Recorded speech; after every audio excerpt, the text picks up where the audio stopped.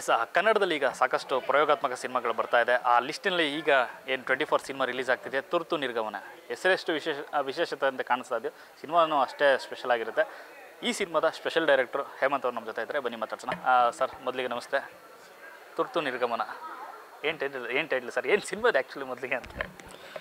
ತುರ್ತು ನಿರ್ಗಮನ ಅಂದರೆ ಎಮರ್ಜೆನ್ಸಿ ಎಕ್ಸಿಟ್ ಎಲ್ರಿಗೂ ಗೊತ್ತು. ಎಲ್ಲರೂ ನೀವು ಲೈಫಲ್ಲಿ ಎಲ್ಲ ಕಡೆ ನೋಡಿರ್ತೀರ. ಹಾಸ್ಪಿಟ್ಲಲ್ಲಿ ನೋಡಿರ್ತೀರಾ, ಒಂದು ಬಸ್ ಸ್ಟಾಪಲ್ಲಿ ನೋಡಿರ್ತೀರಾ ಬಸ್ ಸ್ಟ್ಯಾಂಡಲ್ಲಿ ಇದು ಬಸ್ ಒಳಗೆ ನೋಡಿರ್ತೀರಾ ಥಿಯೇಟ್ರಲ್ಲೂ ನೋಡಿರ್ತೀರ. ಇದೆ ಅದು. ಬಟ್ ಏನಂದರೆ ಅದು ನಾವು ಯಾರೂ ಯೂಸ್ ಮಾಡಲ್ಲ.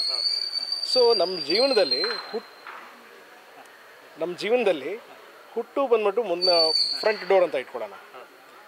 ಸಾವು ಬಂದು ಬ್ಯಾಕ್ ಡೋರ್ ಅಂತ ಇಟ್ಕೊಂಡ್ರೆ ತುರ್ತು ನಿರ್ಗಮನ ಎಲ್ಲಿ ಬರುತ್ತೆ ಅನ್ನೋದೇ ಒಂದು ಥೀಮ್ ನಮ್ಮ ಸಿನಿಮಾ ಓಕೆ ಸೊ ಬರಬಾರ್ದು. ಅನ್ಫಾರ್ಚು ಫಾರ್ಚುನೇಟ್ಲಿ ಅನ್ಫಾರ್ಚುನೇಟ್ಲಿ ಯಾರಿಗೂ ತುರ್ತು ನಿರ್ಗಮನ ಯೂಸ್ ಮಾಡೋಂಥ ಪರಿಸ್ಥಿತಿ ಬರಬಾರ್ದು.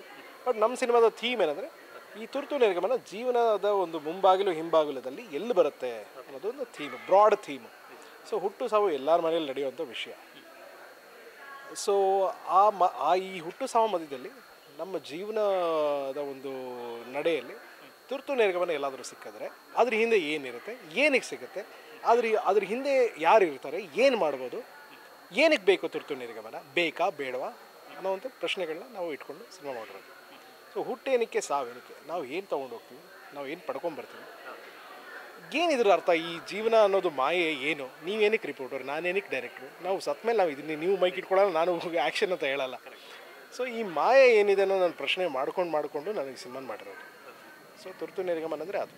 That is it's an emergency exit to from your routine ನಿಮ್ಮ ಲೈಫಲ್ಲಿ ಇರುವಂಥ ಒಂದು ರುಟೀನು ಒಂದು ನಾರ್ಮಲ್ಸಿ ಒಂದು ರೆಗ್ಯುಲರ್ ಪ್ಯಾಟರ್ನಿಂದ ಒಂದು ಎಕ್ಸಿಟ್ ತುರ್ತು ನಿರ್ಗಮನ ಒಂದು ಹೊಸ ವಿಷಯ. ಡೈರೆಕ್ಟರ್ ಆಗಿದ್ದು ನಿಮ್ಮ ಮೊದಲ ಸಿನಿಮಾ ಬಟ್ ಎಕ್ಸ್ಪೀರಿಯನ್ಸ್ ತುಂಬ ದೊಡ್ಡದಿದೆ. ಆ್ಯಡ್ ಮೇಕರ್ ಆಗಿದ್ರಿ, ಆ ನಂತರದಲ್ಲಿ ಗೋಧಿ ಬಣ್ಣ ಸಾಧಾರಣ ಮೇಕಟ್ಟು ಸಿನಿಮಾದಲ್ಲಿ ವರ್ಕ್ ಮಾಡಿದ್ದು. ಹೆಂಗೆ ಸರ್, ಸಿನಿಮಾ ನಂಟು ಬೆಳೆದಿದೆ ಹೆಂಗೆ? ಆ್ಯಡ್ ಇಂಡಸ್ಟ್ರಿನಲ್ಲಿ ಇರ್ತೀರಾ ಆ ನಂತರದಲ್ಲಿ ಸಿನಿಮಾ ಬರಬೇಕು, ಅದು ಕೂಡ ಒಂದು ದೊಡ್ಡ ಸಿನಿಮಾದಲ್ಲಿ ವರ್ಕ್ ಮಾಡಿರ್ತೀರಾ? ಇಲ್ಲ ನಾನು ಚಿಕ್ಕವನದ್ದು ಫಿಫ್ತ್ ಸ್ಟ್ಯಾಂಡರ್ಡಿಂದನೇ ನಾನು ಡೈರೆಕ್ಟರ್ ಆಗಬೇಕು ಅಂತ ನಮ್ಮ ಟೀಚರ್ ಹೇಳ್ಬಿಡಿದ್ರು ಯಾಕಂದರೆ ಡ್ರಾಮಾಗಳೆಲ್ಲ ನಾನೇ ಬರೆದು ಡೈರೆಕ್ಟ್ ಮಾಡ್ತಾ ಇದ್ದೆ. ನನಗೆ ಗೊತ್ತಿಲ್ಲ ಅದು ಡೈರೆಕ್ಷನ್ ಅಂತ. ನಮ್ಮ ಟೀಚರ್ ನೀನು ಡೈರೆಕ್ಟರ್ ಆಗಬೇಕು ಅಂತ ಒಂದು ಹೇಳಿಬಿಡಿದ್ರು. ಮಾಲಾ ಮಿಸ್ ಅಂತ. ಥ್ಯಾಂಕ್ ಯು ಅವ್ರಿಗೆ ಸಿನಿಮಾದಲ್ಲೂ ನಾನು ಅವ್ರಿಗೆ ಒಂದು ಇದು ಕೊಟ್ಟಿದ್ದೀನಿ. ಅಲ್ಲಿಂದ ನನಗೆ ಹುಟ್ಕೊಂಡಿದ್ದು ಡೈರೆಕ್ಟರ್ ಅಂದರೆ ಏನು? ಕ್ಯಾಮ್ರಾ ಇಟ್ಕೊಂಡಿರೋ ಡೈರೆಕ್ಟರ್ ಅಂತ. ಓಕೆ ನನಗೆ ಗೊತ್ತಿರಲಿಲ್ಲ, ಚಿಕ್ಕವನು.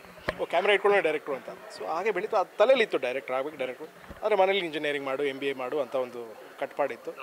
ಅದೆಲ್ಲ ಮುಗಿಸಿದ ಮೇಲೆ ಇಮಿಡಿಯೇಟ್ಲಿ ನನ್ನ ಲಾಸ್ಟ್ ಡೇ ಆಫ್ ಇಂಜಿನಿಯರಿಂಗು ನನಗೆ ಒಂದು ಕಾಲ್ ಬಂತು. ಆ್ಯಡ್ ಫಿಲ್ಮ್ಸಲ್ಲಿ ಎ ಡಿ ಆಗಿ ಸೇರ್ಕೊತೀರ ಅಲ್ಲಿ ಎಷ್ಟು ಕೇಳ್ತಾ ಇದ್ದೆ. ಸೂಪರ್ ಅಂತ ಜಂಪ್ ಆದೆ. ಸೊ ಆ್ಯಡ್ ಫಿಲ್ಮ್ಸಲ್ಲಿ ಆಲ್ಮೋಸ್ಟ್ ಟೂ ತೌಸಂಡ್ ಸಿಕ್ಸಿಂದ ಟೂ ತೌಸಂಡ್ ನೈನ್ ಟೆನ್ವರೆಗೂ ನಾನು ಆ್ಯಡ್ ಫಿಲ್ಮ್ಸ್ ಜರ್ನಿ ಇತ್ತು. ಬಟ್ ಸಿನಿಮಾ ಮಾಡಬೇಕು ಅಂತ ಹುಚ್ಚು. ಆದರೆ ಆ್ಯಡ್ ಫಿಲ್ಮ್ಸಲ್ಲಿದ್ದರೆ ಆ್ಯಡ್ ಫಿಲ್ಮ್ಸ್ದೇ ಅದೊಂದು ಅದೇ ಅದೇ ಒಂದು ಬೇರೆ ಜಗತ್ತು. ಸಿನಿಮಾ ಮಾಡಲೇಬೇಕು ಅಂತ ನಾನು ಹೊರಗೆ ಬಂದೆ. ಆಮೇಲೆ ನಾನು ಹೇಮಂತ್ ರಾವ್ ನನಗೆ ತುಂಬ ಕ್ಲೋಸ್ ಫ್ರೆಂಡ್ ಆವಾಗ ಅವರು ಅವ್ರು ನೀನು ಈ ಸಿನಿಮಾ ಮಾಡಿದ್ರೆ ನಾನು ಕೋ ಡೈರೆಕ್ಟ್ ಆಗ್ತೀನಿ ನಾನು ಸಿನಿಮಾ ಮಾಡಿದ್ರೆ ನೀನು ಕೋ ಡೈರೆಕ್ಟ್ ಆಗ್ತೀನಿ ಅಂತ ನಾವು ಮಾತಾಡ್ಕೊಂಡಿದ್ವಿ ಸೊ ಅವ್ರದ್ದು ಫಸ್ಟ್ ಲವ್ ಚರ್ಮ ಶುರು ಆಯಿತು. ಅಲ್ಲಿಂದ ನನ್ನ ಜರ್ಮೆ ಜರ್ನಿ ಶುರು. ಅದಾದಮೇಲೆ ಗೋಧಿ ಬಣ್ಣ ಅದ ಗೋಧಿ ಬಣ್ಣ ನಾವು ಬಿಕಾಸ್ ಹೇಮಂತ್ ರಾವ್ ನನ್ನ ಕ್ಲೋಸ್ ಫ್ರೆಂಡ್ ಆಗಿರೋದು ನಾವು ಗೋಧಿ ಬಣ್ಣದ ನನಗೆ ಚಾನ್ಸ್ ಸಿಕ್ತು. ಅದರಲ್ಲಿ ಕೋ ರೈಟರ್ ಆಗಿ ನಾವು ಬರ್ತಿದ್ವಿ. ಅದಾದಮೇಲೆ ತುರ್ತು ನಿರ್ಗಮನ ನಾನು ಇಂಡಿಪೆಂಡೆಂಟಾಗಿ ನಾನು ಮಾಡಬೇಕು ಅಂತ ನಾನು ನಾನು ಶುರು